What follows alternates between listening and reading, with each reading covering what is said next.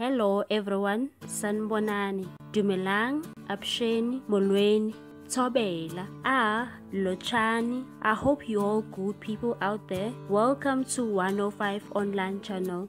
In this channel, we are bringing you celebrity news, entertainment news and gossip celebrity news. If you are new into this channel, please please subscribe and hit that notification button. Hi everyone, let's take a look on what's going to happen on Uzalo from 5 to 9 July 2021. On Monday 5 July, Pastor Gwala's sudden change of heart raises eyebrows. Nkunzi finds out who was behind his arrest.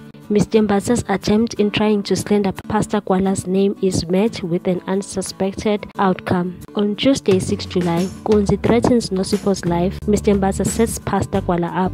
Jeza is one step away from securing a life-changing bag. On Wednesday 7 July, Nkunzi doesn't kill Nosipho but cuts her off completely. Pastor Gwala resists temptation.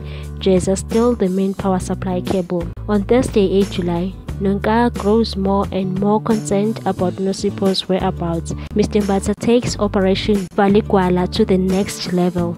Mamlambo worries when the homeless in Kwamashu are given hope of the reopening of Soup Kitchen. On Friday 9 July, the man behind the cable theft is uncovered. Mondli is glad to see Nosipho alive, but she's got news for him. Mr. Mbatha has finally found death on Gwala. Thank you, thank you so much for watching. Please do not forget to like this video so that you can get more weekly teasers on this channel. 105 Online Channel loves you. Bye, good people.